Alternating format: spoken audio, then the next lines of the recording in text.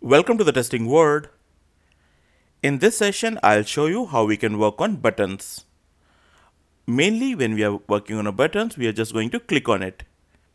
For that, I'm just coming to my editor and here previous session we have seen how we can enter your username, how we can enter password and both are the text box. So previously we have seen how we can work on the text box.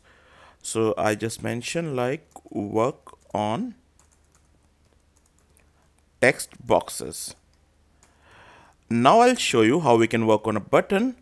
So how to work on button.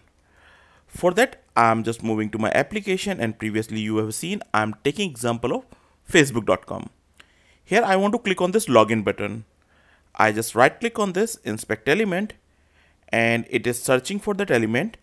Here we are having ID. We can use that. We don't have the name and we have few more attributes.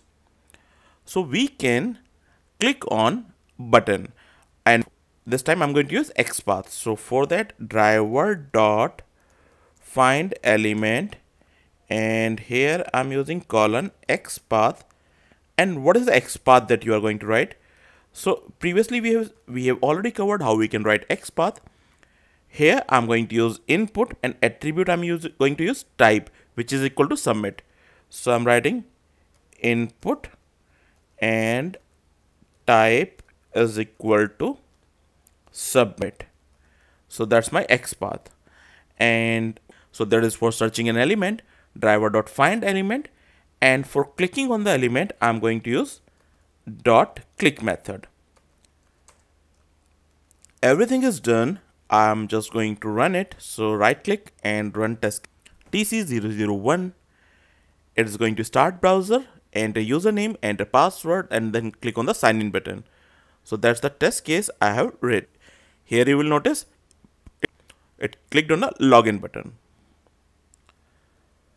So here we have seen how we can work on the buttons. That's all we have for the session. Thanks for watching this video. Hi friends, hope you are enjoying this video. If you have any question regarding this video, you can ask your question in the comment section. Also, I would request you to please subscribe our channel.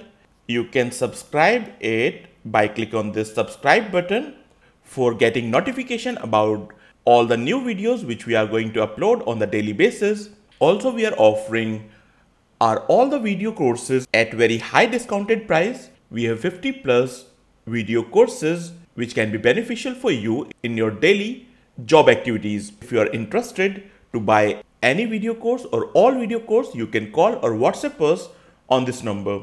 Also, you can be in touch with us by using Facebook, LinkedIn or Twitter. Happy learning!